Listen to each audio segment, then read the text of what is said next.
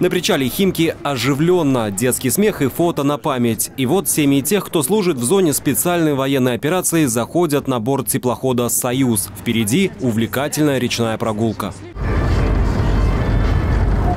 Военных прям очень сильно. Прям иногда, знаете, хочется на улицу, смотрю глаза, хочется подойти, обнять.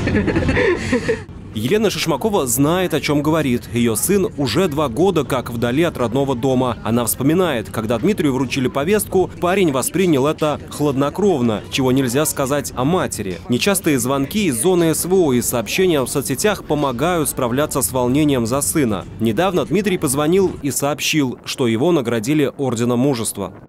А так, когда с головой подходишь да, к своему внутреннему состоянию, то есть чувство гордости, есть, э, знаете, какая-то уверенность, что все будет хорошо, что мы под защитой. Зато я теперь горжусь сыном. Вот. Он у меня молодец, он герой. А для Марии Толстовой и ее троих детей героем является супруг Виталий. Что ты хотела сказать? Ну, просто его. Не очень частое общение с мужем, конечно, удручает, говорит Мария. Как для нее, так и для Елены Шишмаковой встречи, подобные этой, крайне необходимы. Именно здесь они могут пообщаться и поделиться своими эмоциями. Мы всегда неоднократно говорили, что важное здесь не то, что именно происходит, да, не важно, это прогулка или это какая-то встреча на природе.